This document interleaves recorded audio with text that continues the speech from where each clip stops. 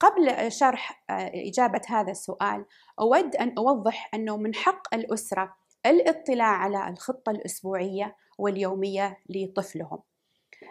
المدرسة تقوم ببذل جهد للتعرف على مستوى أداء الطالب ومهاراته الحالية، سواء كان من خلال التقييم، وضع الأهداف طويلة المدى وقصيرة المدى، وضع استراتيجيات وطرق التعليم. لكن غالبا تبقى هذه الخطط حبيسة الأدراج أو الملفات، فمن الأفضل أن تسعى الأسرة بنفسها في حالة عدم حصولها على نسخة من هذه الخطة إلى التواصل مع المدرسة للحصول على الخطة الأسبوعية. تعتبر الخطة الأسبوعية من أساسيات التدريس، ونحن الآن في فترة التعليم عن بعد. قد يصعب على الأسرة معرفة من أين نبدأ. سواء كان هذا الجانب للأسرة أو للمدرسة الأهمية هي أساس التعليم.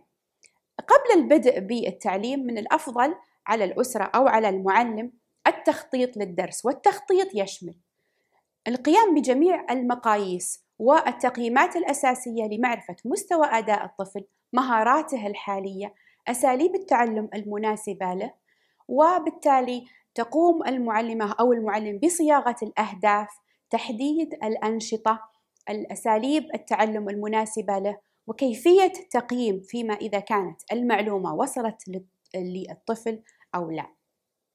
إذا الحصول على الخطة التعليمية الأسبوعية أو حتى الخطة التعليمية الفصلية جانب جدا مهم في معرفة مخرجات التعلم. بطرح مثال إذا الأم والأب مشرفين على ابنهم في أحد المنصات التعليمية. إذا لم يعرفوا ما هي مخرجات التعلم أو ما هي المعلومة والمفاهيم التعليمية الأساسية التي سيتعلمها الطفل في نهاية الدرس تكون عملية التعليم عشوائية. بينما إذا الأم والأب مطلعين على مخرجات التعلم والهدف من الحصة الدراسية الآن يكون التعليم أفضل. أيضا يساعدهم الشيء هذا على متابعة الطفل المراجعة الدورية ومعرفة المفاهيم الأساسية التي سيخرج منها الطالب أو الطالبة في نهاية الحصة.